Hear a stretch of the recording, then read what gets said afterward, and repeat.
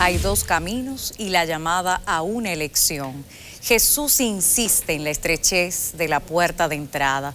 No se puede encontrar el reino de Dios pasando por la puerta grande, por la que pasan los conformistas.